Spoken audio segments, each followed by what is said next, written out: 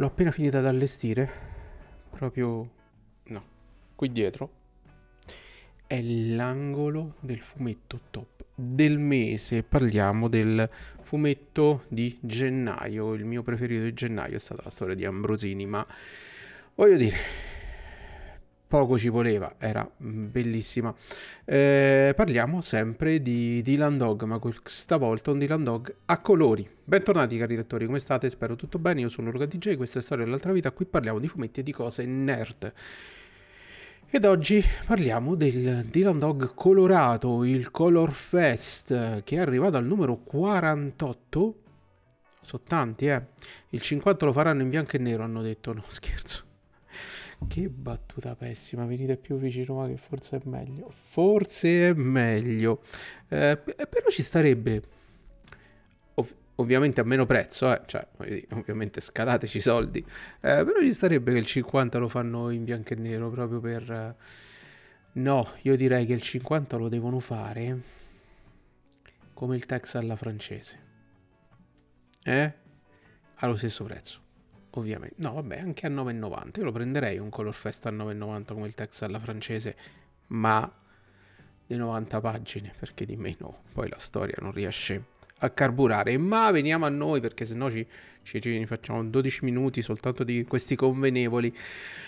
Ho letto ieri il nuovo Color Fest, il risveglio 5, eh no, 6,90 euro per il Color Fest, vabbè ancora 6,90 euro.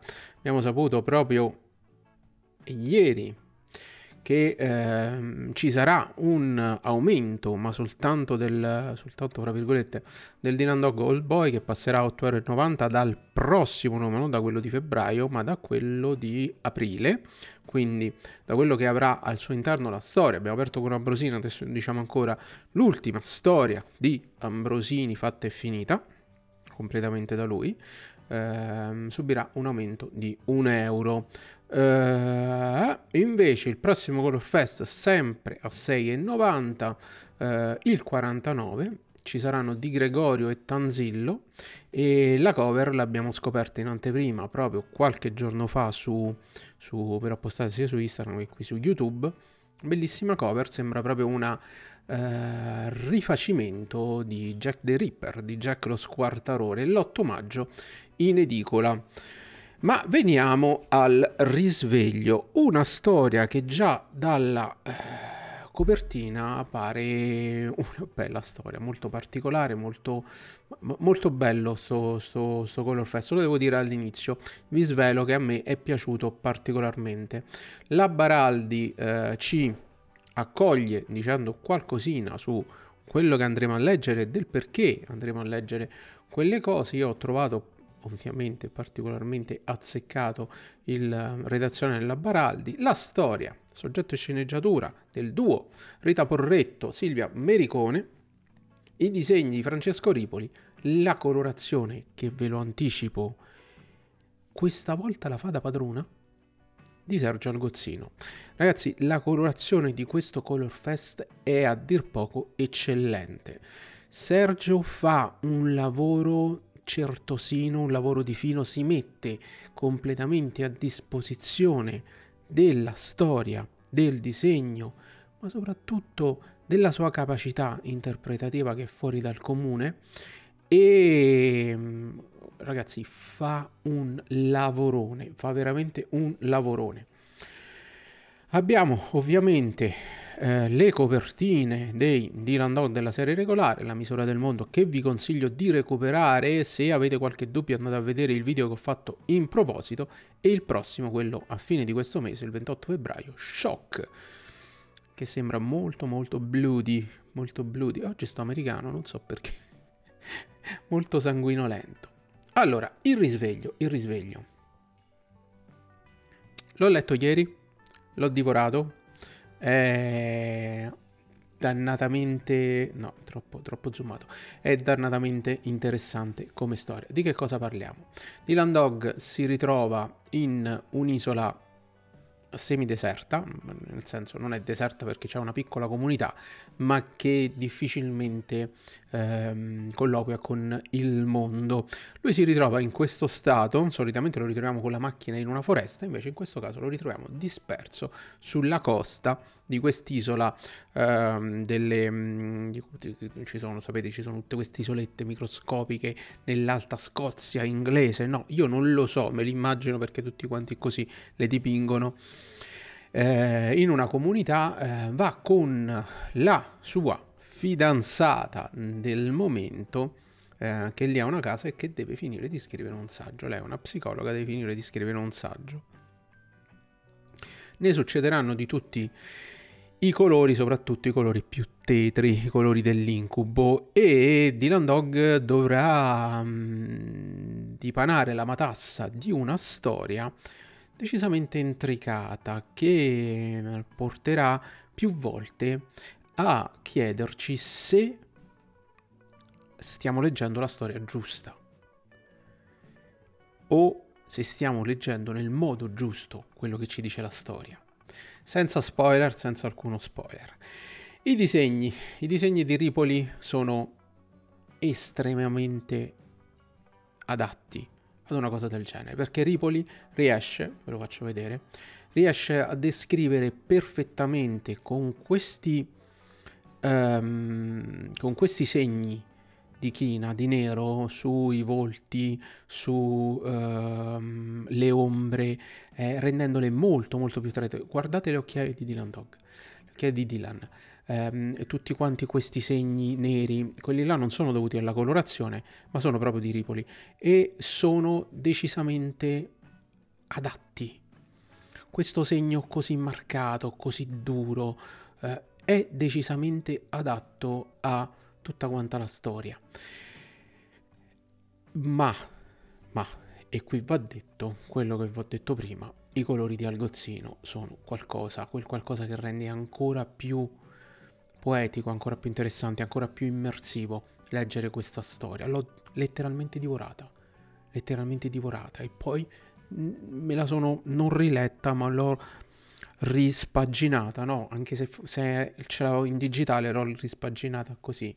Perché? Perché innanzitutto non so se è stata un'idea appunto del colorista o del disegnatore o addirittura delle due sceneggiatrici. Il momento presente è un momento di, eh, colorato in questo modo, in modo netto, in modo solido, eh, no, non so come definirlo. Invece il momento del flashback, del ricordo, è un disegno sporco, sporcato da tutte quante queste ombre. Poi capiremo il perché. Capiremo poi il perché. Sembra quasi a pastello a cera, oppure sembra quasi con sporcato proprio con la punta della matita, con la grafite stessa della matita. È un uh, escamotage che ti fa immergere ancora di più in quella che è la storia. Che cosa ci vogliono dire la Porretto e l'Americone? Di preciso ragazzi non lo so, ma è un racconto che parla di solitudine, è un racconto che parla di isole, ehm, che ci vede un po', vede un po' l'animo umano appunto come un'isola ehm, e come un'isola è isolato da tutto quanto il resto. si possono costruire dei ponti, ma non è detto che quei ponti possano, eh, po- possano resistere, possano eh, essere anche utili, eh, che possano ehm, veramente essere fatti in certi, in certi casi. E tutta la storia si basa appunto su questo sul sottolineare come l'animo umano sia destinato ad essere solo, a non essere compreso, a uh, vivere costantemente, costantemente nella, ne, nel suo bozzolo, no? Non ci sarà mai nessuno che potrà comprenderci appieno, che potrà accettarci appieno. È molto molto triste come cosa, eh, non so quanto condivisibile, ma il racconto ci dice appunto questo. All'interno di tutto quanto il racconto, ovviamente, eh, ci verrà spiegato attraverso le metafore, metafore dell'incubo, dei mostri, le metafore eh, di, di, Dylan che racconta eh, questa incredibile, ennesima avventura in quello che potrebbe essere a tutti gli effetti e che sembra all'inizio a tutti gli effetti una storia d'amore, una storia di sentimento, una storia che nonostante tutto avrà il suo lieto fine. Ma, e qua mi fermo, altrimenti vi faccio spoiler.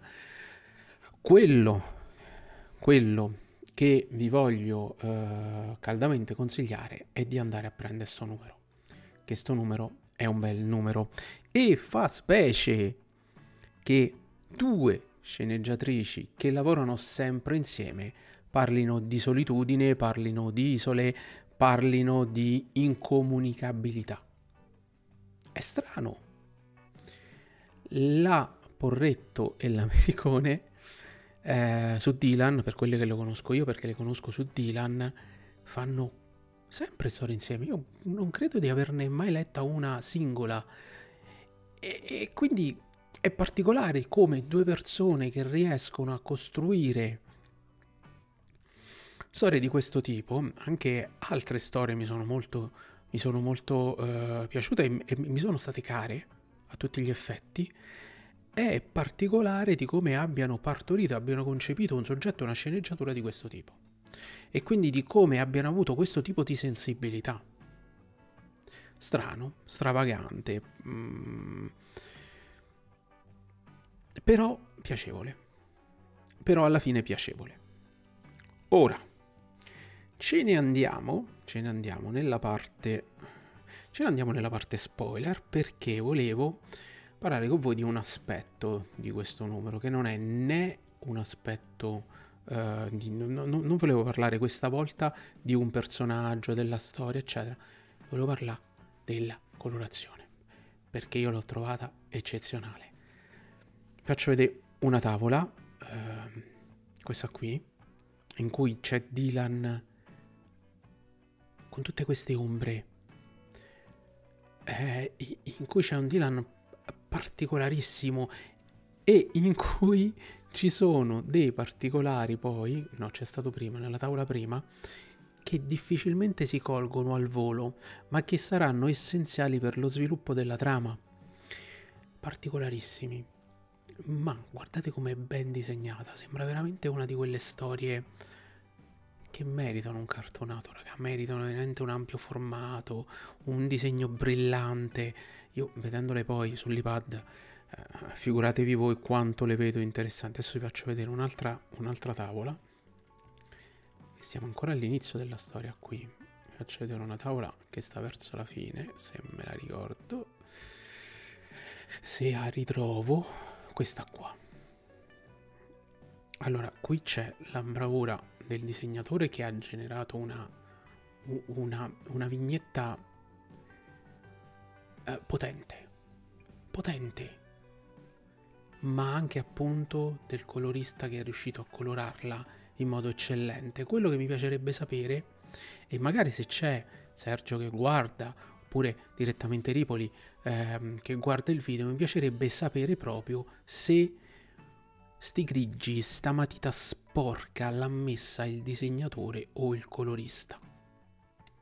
Perché dà veramente tantissimo a quello che è la storia. Dà veramente tanto, tanto, tanto. A, a posteriore, quando tu lo capisci, arrivi alla fine della storia, ti rendi conto del significato di tante cose che sono accadute, di tante cose che hai visto e che nulla era messo lì per caso o per semplicemente perché era bello da mostrare in quel modo, era appariscente, diciamo no, funzionale alla storia stessa.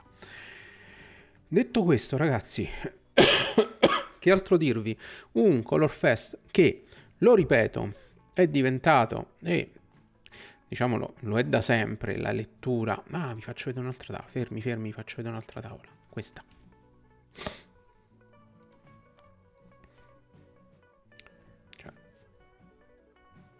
Spettacolo. Un Color Fest che è diventata la lettura dilaniata, ma da parecchio la lettura dilaniata che io preferisco. E vi lascio una domanda. Se siete arrivati fino qua nel video... Ah, alla fine c'è anche questo. Vi faccio vedere un'altra cosa. Scusa, sto a tappe perché mi dimentico. Alla fine ci sono due tavole dello sketchbook. Adesso i più cattivi diranno hanno fatto una storia con due tavole di meno più intelligenti diranno, no, scherzo, non intelligenti, i più buoni diranno, oh che figata, abbiamo visto questo bello sketchbook che oltretutto è stato anche impaginato in modo particolare, eh, anche lì abbastanza in- interessante. Da qui sembra appunto che questa colorazione nera ce l'ha messa il disegnatore. Però io ho una domanda che faccio. Ma a parte quello, domanda. Di Landog sono 36, mm, questo è il 37, no, questo è il 36 perché l'anno scorso erano 35 anni, che mm, predilige il bianco-nero nelle sue storie. Il bianco-nero non è mai stato un limite, è stato un pregio di sto fumetto. Ma ormai da ben 48 uscite, è sempre stato trimestrale il Color Fest, quindi un sacco di anni. Il Color Fest ci dimostra come Dylan Dog a colori abbia quel passo in più, nonostante tutto. Voi, e questa è una domanda che faccio a voi, preferite lasciare tutto come adesso? Oppure, anche alla luce dell'aumento dell'all boy che ci sarà, Preferireste meno storie, meno uscite, ma curate meglio? Curate nel senso col colore, eh, magari anche in, in, brossuratone bello grande, eh, che abbiano più respiro anche in edicola in fumetteria, abbiano più, fra virgolette, dignità di esistere, che non si esauriscono nello spazio dei 30 giorni della distribuzione delle edicole e, e, e, e, che non abbiano neanche il tempo di carburare, perché è vero che siamo in una società che a differenza di, del prima di internet in tutte le case, del prima della fibra, dell'in, dell'informazione veloce, eccetera, dell'intrattenimento, veloce e facilitato um, era più lenta, ma è anche vero che in una società del genere un contenuto, un'opera, ha più bisogno di tempo per essere conosciuta, per essere apprezzata, per diventare magari qualcosa in più. E forse questi 30 giorni, anche se il Color Fest ha l'ambizione di durare tre mesi, ma non li dura tre mesi, non è così, sta lì in edicola, ma dopo tre giorni già non se lo ricorda più nessuno perché non c'è nessun rimando, perché non c'è nessun rinnovo del messaggio uscito il Color Fest. E chi parla di marketing sa di marketing, sa di que- quello che dico. Quindi, quale delle due cose scegliete? Rimanere tutto com'è? Un casino di storie che si esauriscono in tempi brevi e che non danno mai un respiro al personaggio o meno storie, meno uscite, curate meglio e che però diano più respiro al personaggio. Io faccio un esempio. I cartonati che stanno uscendo adesso in fumetteria che non perdono la loro freschezza dopo 5 minuti. Cosa che invece fanno questi fumetti qua d'edicola. E forse adesso lo sforzo per produrre e poi vedere in 30 giorni, boom, è diventato vecchio, eh, è troppo. Forse prima si poteva fare, ma adesso è troppo. Una domanda che vi faccio e che vorrei che sviscerassimo qua sotto nei commenti. Ovviamente mi interessa sapere anche come avete trovato il Color Fest, se l'avete preso, se lo prenderete, se... Uh, e non facciamo diventare qui sotto una cosa che il sovrapprezzo sull'all boy, eh, lì ne parleremo, ne parleremo a tempo debito, o ne abbiamo già parlato, non so quando uscirà questo video, sinceramente, perché sono stati un po' di, di casini in questi giorni proprio nel mondo del fumetto, ma ne vorrei parlare qua sotto nei commenti. proprio dell'ultima cosa che vi ho chiesto. Noi ci vediamo domani per il solito prossimo video. Ciao belli.